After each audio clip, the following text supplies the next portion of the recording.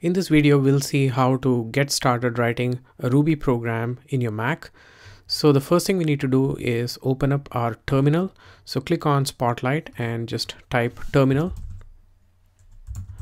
and click on the top hit and you will have the terminal uh, window open up. The terminal is an interactive uh, screen that lets you interact with your Mac machine.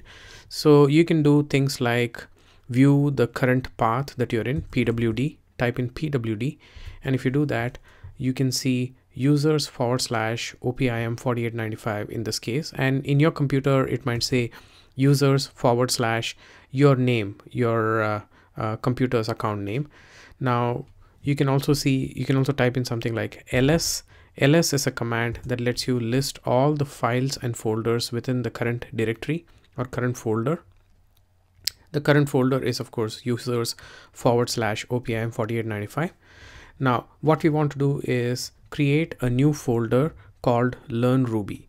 To do that, I'm going to use the command mkdir, mkdir space learn Ruby, one single word, learn Ruby. And when I do that and press enter, now if I type ls, you will see that a new folder called learn Ruby has been created. Now you can move into this folder and uh, to do that you can type in cd space learn ruby.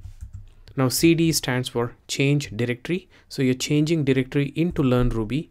And now if you do pwd, you will see that you're inside users forward slash opim 4895 forward slash learn ruby. So from users forward slash opim 4895 which we were in earlier.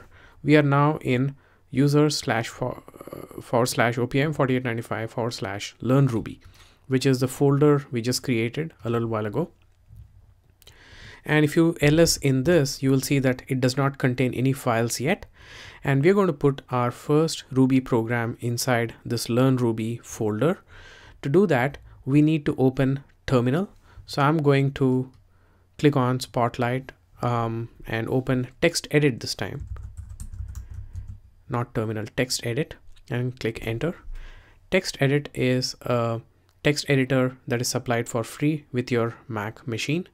Now the first thing i want to do is to go to format um, at the top of text edit in the menu bar of text edit and make it a plain text make plain text. So if you click on make plain text then your text edit file will become a plain text file.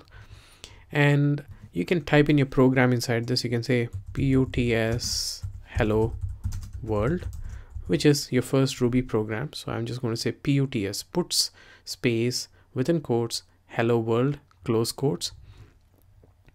And now go to file in the text edit menu and save and when you click save it's going to ask you for the location where you should save it. And now you need to navigate to your OPIM 4895 or in your case the name of um, the main folder where you created your learn Ruby subfolder. So click inside learn Ruby. And once you're there you can change the file name to test.rb you can call it whatever you want. I'm just calling it test.rb over here.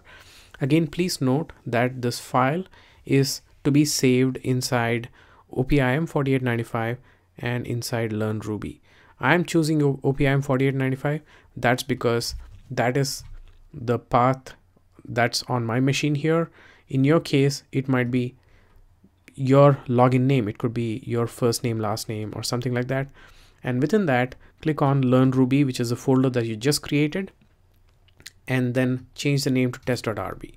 Okay, having done that, you can now save it. And now this file has been saved inside your learn Ruby folder.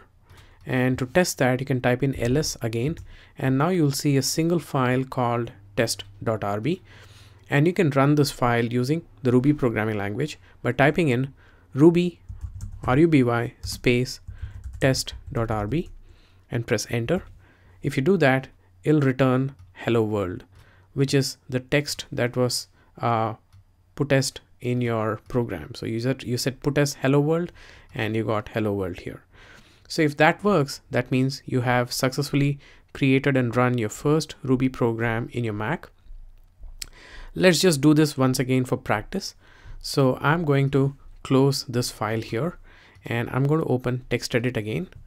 And now that this is open, I go to format, make plain text, and now I'll say put as within quotes my second program, close quotes, go to file in text edit and save.